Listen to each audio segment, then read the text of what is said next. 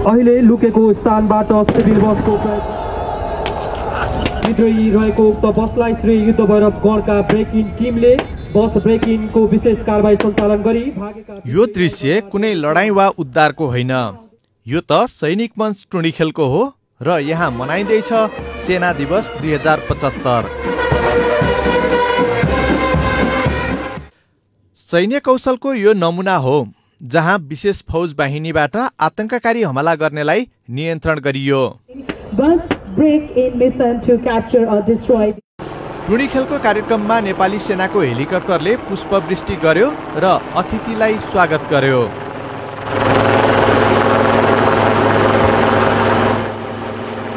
जहाँ ब्यानरमा लेखिएको थियो सेना दिवस दुई हजार पचहत्तर।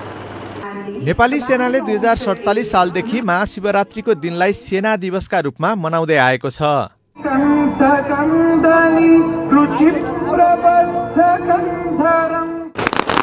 सेनाले राइफल र तोपबाट महाशिवरात्रि बढाइ गर्यो।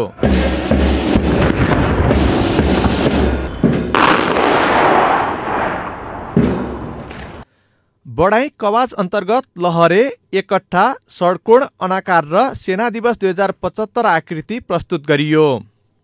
टुँडी खेलमा सैनिक र नेपाली परम्परागत वेशभूषा झल्कने विविध कला नृत्य र सङ्गीतको धुन प्रदर्शन गरियो। सैनिक मञ्चमा मास पिटी प्रस्तुत गरियो। त्यस अन्तर्गत पिटी तेक्वान्दो सुट टु किल मुकदल रौद्र ताण्डव खुकुरी ड्रिल पनि प्रस्तुत भयो। सेनाको व्यावसायिक कार्यकुशलतालाई झल्काउने केही सैनिक कौशल समेत प्रस्तुत भए।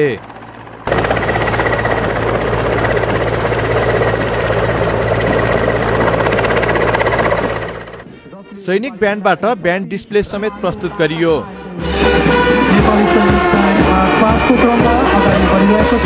नेपाली सेनाले प्रयोग गर्दै आएका विभिन्न खालका सवारी साधन उपकरण र हात हतियारको समेत प्रदर्शन गरिएको थियो। शिवरात्रिको बढाइ हेर्न टुणीखेल वरपर सर्वसाधारणको घुइँचो लागेको थियो। सेना दिवसका दिन प्रधानमन्त्री केपी शर्मा ओलीले दिएको शुभकामनामा नेपाल निर्माणसम्मको यात्रामा सेनाले निर्वाह गरेको भूमिका र योगदानको प्रशंसा छ।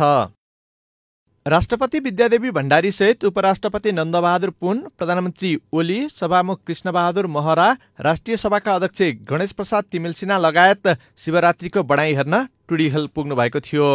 हिमालय टेलिभिजनका लागि क्यामेरामा जीवन सुवेदीका साथ अली अस्कर देवानको रिपोर्ट।